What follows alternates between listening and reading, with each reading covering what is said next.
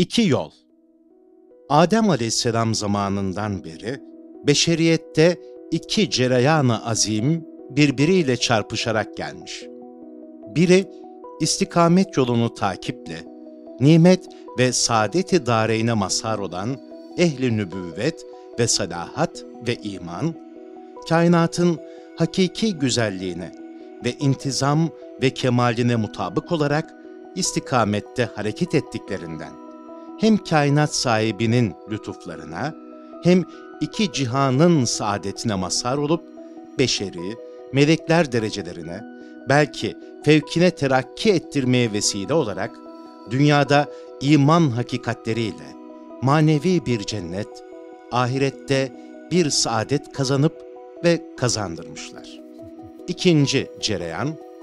istikameti bırakıp ifrat ve tefritle aklı, bir vesileyi azap ve edemler toplayıcı bir alete çevirmesinden, insaniyeti en bedbaht bir hayvaniyetten aşağı düşürüp,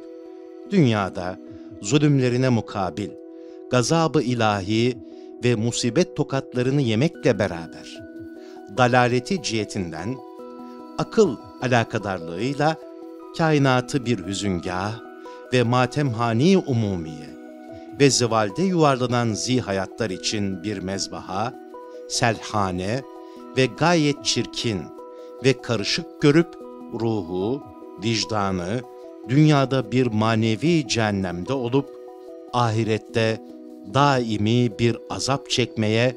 kendini müstahak eder.